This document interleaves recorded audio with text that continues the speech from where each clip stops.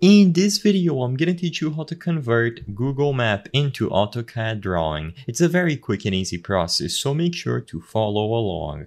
In this video, I'm gonna show you an alternative, which is the correct way of converting any map to an AutoCAD drawing. Usually, people suggest that you just take a screenshot of anywhere on Google Maps, and by using the scale provided in the map itself, you should be able to have an AutoCAD drawing that way. But in this video, I want to present an alternative which is built into AutoCAD itself. All that you have to do is open up the tool and in here go over to the Insert tab.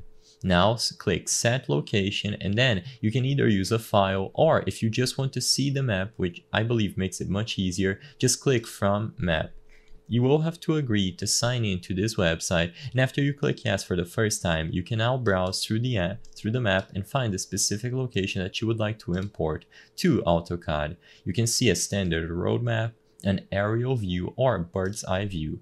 All that you have to do is find the location that you want to input into AutoCAD and you will be able to select it from here. Like I said, I believe this is the proper way to do it as the tool is built into AutoCAD itself and the scale, everything is provided here. You can see the latitude, longitude, and even the elevation. And as long as you do this process through AutoCAD itself, it is going to be much easier to import any map into an AutoCAD drawing.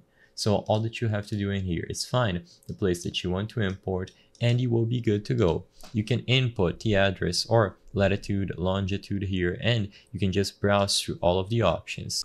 Once you choose your location, you will be able to drop a marker by looking it up with the address or the latitude and longitude and then click next.